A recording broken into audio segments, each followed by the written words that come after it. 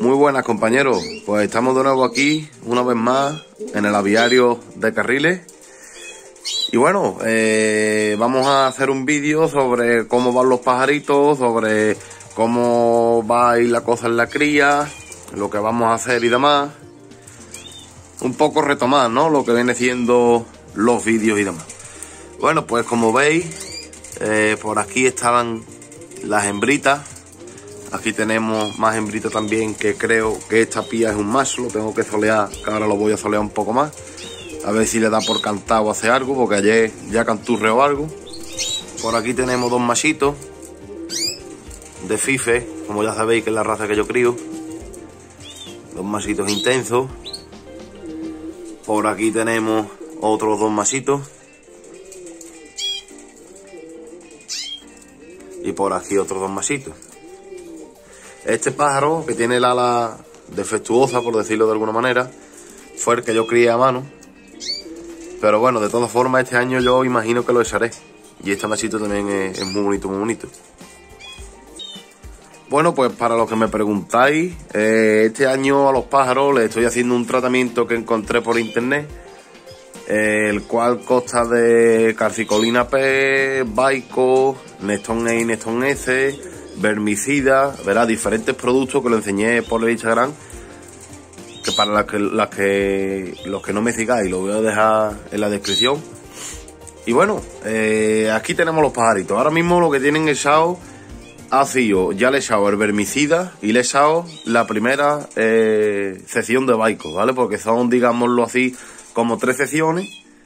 Son dos días, después cinco días de descanso, otros dos días eh, otros cinco días de descanso y un día y ya a partir de ahí otro día de descanso y ya se le empiezan con, con el Neston E, Neston S y demás.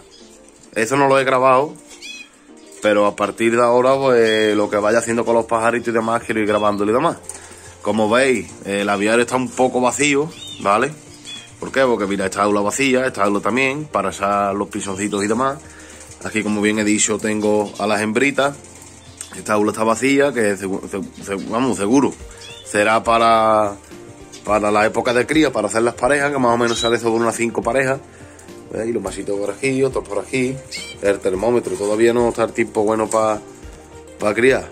Como veis, 10 grados. De, mínima 7, tampoco está tan mal. Ha habido días peores, a la vez tenemos una ola de frío, supuestamente llamada Filomena. Y bueno, eh, aquí en la suerta como veis, mandarines. Como veis ahí tengo la hembrita esta de mandarín blanca. Y el mandarín pío. El masito que estaría por aquí. Como veis son unos pájaros preciosos, preciosos, preciosos. Y todo se lo debo al amigo, al amigo José, José Tirado, de Sevilla, que desde aquí le mando un saludo, que me regaló la parejita. Son mandarines de talla chica no son de los gigantes.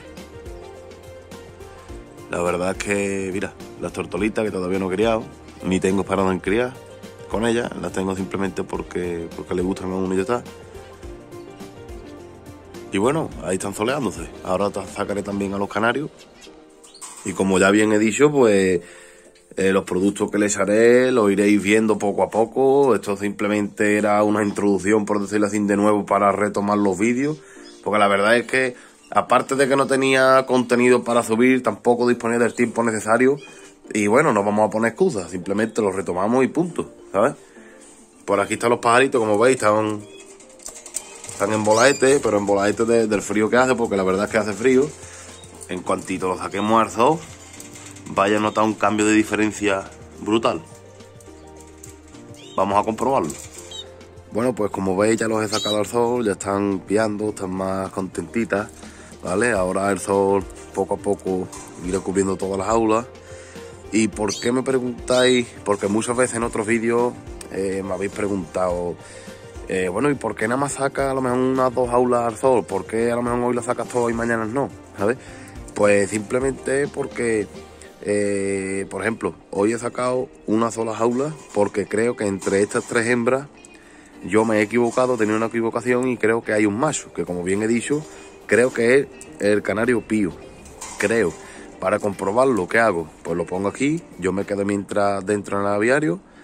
Si escucho algún cantecito o algún canturreo, ya sé que perfectamente está aquí el machito que yo me equivoqué por hembra. Como veis, se tira mucho el sol. La verdad es que son preciosos. Y a ver este año cómo se da la época de cría. Esperemos que mejor que otros años. Como me veis, yo estoy, por decirlo así, esperanzado. Y bueno, esperemos que bien, esperemos que bien. Bueno, pues aquí tenemos al mandarín con su nido. Aquí tenemos a las hembritas. Que ahora si no escuchamos ningún canturreo en la otra jaula, la sacaremos también al sol. A mí es que me gusta sacarlo al sol. Verá, ya haré otro vídeo, igual que tengo que hacer otro vídeo eh, la limpieza y demás, ¿vale? Porque como veis tengo papeles y demás. Por ejemplo, esta jaula la tengo que, limpiar ahora mismo, ¿vale? Para que quería hacer vídeo antes de nada. Pero tengo que hacer varios vídeos que tengo pensados. Pero ustedes sabéis, por ejemplo, que a mí me gusta sacarlo mucho sol. Es una cosa que desde siempre he hecho. Y la verdad es que me va bien. Para la época de cría, ¿verdad? No es que yo haya criado un montón. Pero para hacerlo de los pájaros lo estimulo mucho y yo lo noto. Así que bueno, compañeros. Por aquí tenemos los canarios. Vamos a darlo tranquilito. A ver si se preparan bien para la época de cría, que esperemos que sí. Y bueno, pues un saludo a todos y hasta el próximo vídeo. Espero que ustedes saquéis muchísimo este año, sobre todo que disfrutéis con los pájaros, que aprendáis, que es lo importante. Al igual que yo también lo haré, año tras año, aprendiendo, siempre se aprende. Un saludo y hasta el próximo vídeo.